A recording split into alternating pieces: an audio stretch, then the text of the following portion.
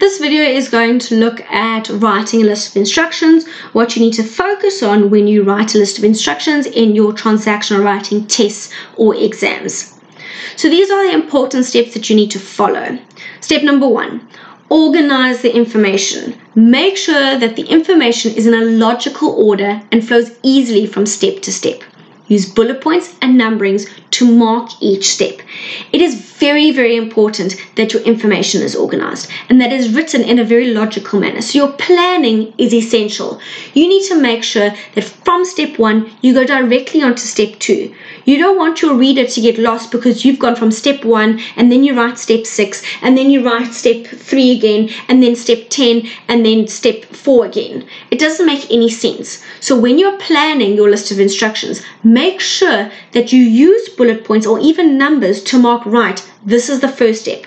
From the first step, I then need to go on to the second step. And you follow that logical order so that your reader, the person that's going to read and follow your instructions, doesn't get lost or confused. Point number two, you need to be direct.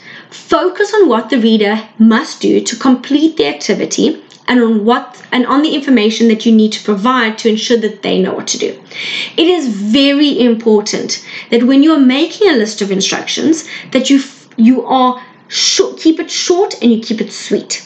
Get to the point, tell them exactly what they need to do don't go into a whole lot of detail because then what happens is that you lose the the reader and then they they're confused about what it is that they actually have to do so keep it short keep it sweet and to the point step number three do not omit or leave out steps ensure that instructions are complete and that they may include every step that is needed to complete the activity as well as supporting information such as definitions or examples.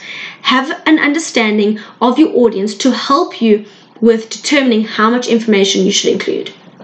So, for this step, it's very important that you rather have too many steps than too few steps.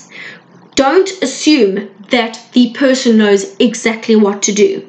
You need to, when you're writing a list of instructions, you need to assume that the person knows nothing. And that way, you will never accidentally leave out steps. So it's important to remember that it's much better to have too many steps than too few steps.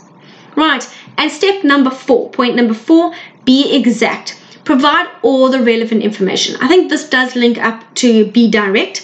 So for instance, if the instructions call for using specific tools, measurements, wording, or other items, list this information in detail.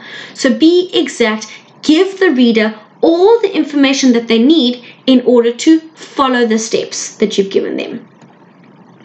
Keep it simple. Okay, again, this links up to being direct. Use short sentences because long, wordy sentences can make instructions confusing. So keep it simple, be direct, get to the point.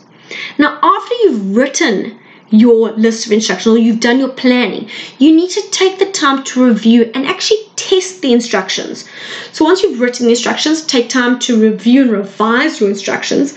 Place yourself in the shoes of the reader and follow the instructions exactly as you have written it.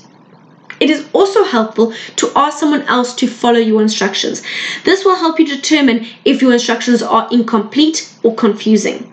So, testing the instructions will help you identify any issues that would make them ineffective, such as missing details or inconsistencies, vague information, or irrelevant information. So, when in doubt, get somebody else to do your instructions and make sure that this will make sure that you haven't left anything out and that you are not confusing the reader. So if you follow these steps, your list of instructions in your test or exam transactional writing will be good.